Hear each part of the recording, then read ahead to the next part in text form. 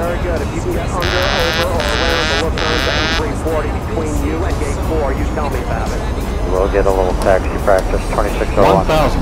American 2601, hold short of runway 8 left to Charlie. Short 8 left to Charlie, 2601. You should use the full call sign, sir. On select, stop asking and move on to other traffic. American Approaching 2601, hold short of runway 8 left to Charlie. Minimums. American Airlines 2601, short of 8 left at Charlie.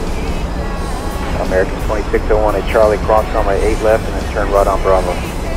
Cross 8 left then right on Bravo, American Airlines 2601.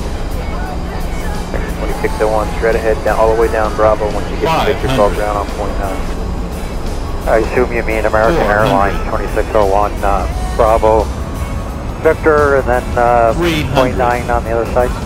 I don't mean American Airlines. I mean American 2601, as, as we've said the whole time. Bravo to Victor on Victor ground 200. Bravo Victor point 9.